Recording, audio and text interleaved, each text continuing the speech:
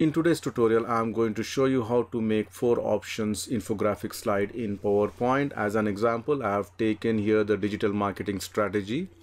So here I've added the title at the center of the slide and when I click, it will come a circle and then the first point will come which is point A, attract. As you can see here, I've given some bright colors at the borders and a light effect at the background and this side you can see here I've given the, the shadow effect and on my next click it will come the option B which is engage then the option C convert and then the option D inspired. Apart from this I have created few more slides with slight variation.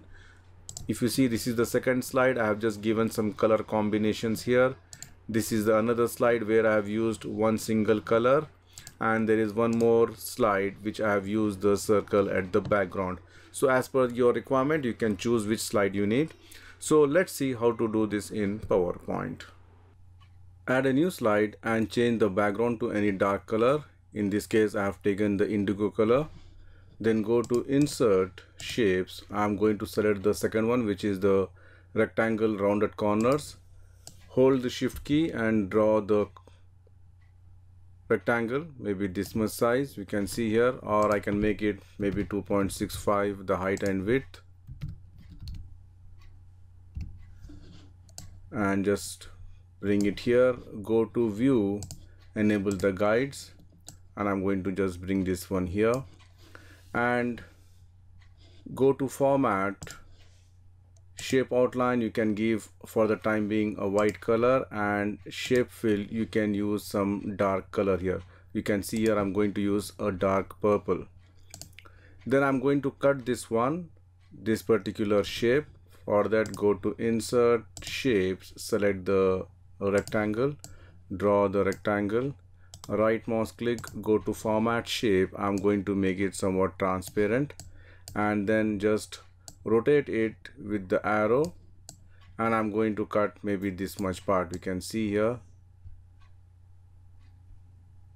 This much part I'm going to cut it. For that select the rectangle first and then the this one by holding the shift key then go to merge shape and you can click on subtract. So you end up getting this shape. Now I'm going to change the color of this. So go to line select the gradient fill and I'm going to keep only two stops. The first stop I'm going to select go to more colors and any color of your choice you can choose. For example I'm going to select this purple and I'm going to choose a light color one more. You can see here let me just select this pink. So you can see here you end up getting like this. And moreover uh, if you want to give some shadow effect or some light effect also you can do it. For that I'm going to select this press ctrl D go to format I'm going to make it no outline and shape fill I'm going to select white. Then go to effects you can see the soft edges increase the size. You end up getting like this. And you can just reduce the transparency effect also if you want. Something like this it looks. And then bring this here. If you want increase the size a little bit and send this to back so you can see here you end up getting like this. If you want you can make it more lighter by increasing the transparency and similarly if you want here a shadow effect I'm going to press ctrl D of this and going to change the color to black. And then I'm just going to put it here. You can see here again send this to back. So you've got the light effect here and the shadow effect. Now I'm going to select all these three objects. Press ctrl G to group it ctrl D to duplicate and go to format rotate you can just rotate to flip horizontal add here give equal spacing and then press ctrl D add here again go to rotate. I'm going to say flip vertical you can see here and again give equal spacing and again press ctrl D go to rotate and I'm just going to rotate flip horizontal. You can see here you got the basic shape ready.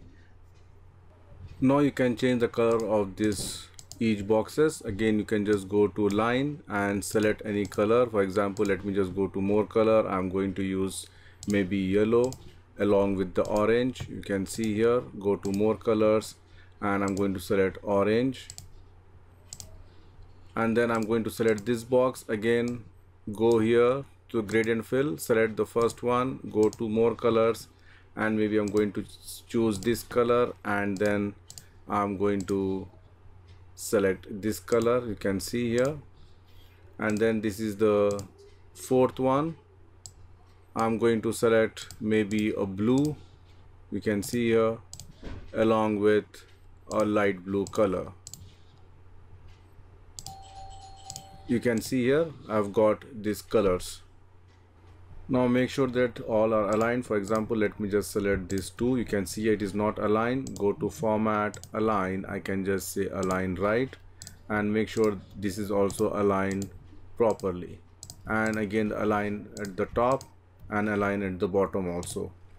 Let me just go to view remove the guides and go to insert shapes. I'm going to select a oval shape draw the oval shape by holding the shift key. You can see here again align center align middle shape outline make it maybe gray or a green color or let me just make it a blue color. And shape fill I'm going to select no fill here. So you can see here you got this one. Now it's time to add the options. Go to insert shapes and select the rectangle. Again draw the small rectangle here you can see here. And you can give the same color or of the background color you can give. Shape outline make it no outline. Then go to effects. Then under 3d format you can select maybe this one which is soft round. You can see here you end up getting like this. And you can give some lighting effect whatever the lighting effect whichever you feel better you can just give that lighting effect here. So it looks something like this. Now once this is done i'm just going to type either 1 2 3 4 or a b c d. I'm just going to say for example a white font Oswald i'm going to select or any color of your or any font of your choice and make it a here. Let me just reduce the size a little bit. And I'm going to change the font color to same which I've used for the outline. Just select both of these. Press ctrl G to group it ctrl D to duplicate it and add for B here. Ctrl D this is for C. You can add it here or here wherever you want. And this is for D so let me just change this one to B C and D. After that you can add some detail text. Go to insert text one add your detail text here. Bring it here make it light color and again whichever font you like you can add it. Press ctrl d to duplicate. Add this one here. Again ctrl d. I'm just going to add this here. Again ctrl d. You can add it here. Or i can make this one up. For example this both i'm going to make it up. This is also one way of doing. And then you can add your text here at the bottom you can see here.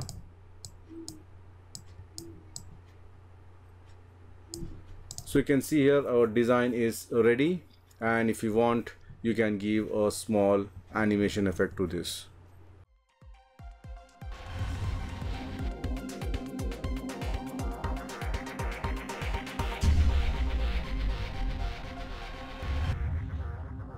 That's it from me friends. Thank you for watching my YouTube channel and don't forget to subscribe PowerPoint University.